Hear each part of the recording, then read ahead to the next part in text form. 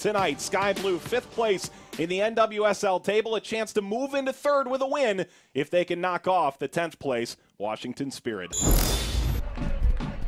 Skroski, Meehan drives towards the byline, got the cross in. It's all the way across and it's put in. Maya Hayes, opening two minutes.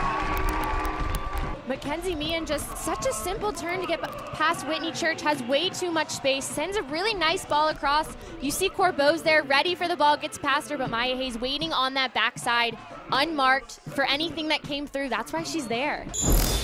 There's Hayes, Corboz through, Meehan again, Meehan this time save, and it's knocked away after the initial save by Labbé. Not over yet. Meehan looking back has Lytle wide.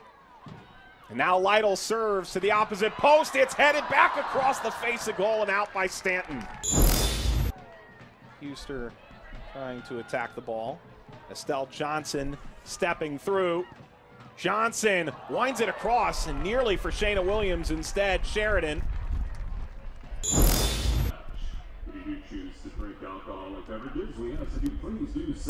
Huster. That's a great touchdown.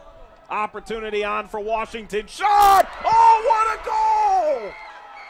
Absolutely fantastic for Washington Spirit. Arielle Ship. She crushed that ball to that far post. Beautiful contact. But her first touch let her down a little bit. It wasn't clean enough. That's one of those things I was mentioning earlier. When a ball is played in, it has to be. Ball for Le- uh, rather for Sheridan. The ball is in by Cheyna Williams. A slow roller. Ship continues with her run.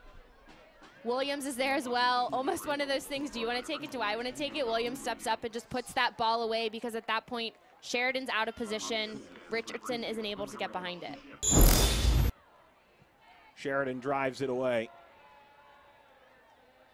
Ship. Five red jerseys running this way. The shot is on. The shot is in. For Dougherty Howard, it's goal number one in the National Women's Soccer League.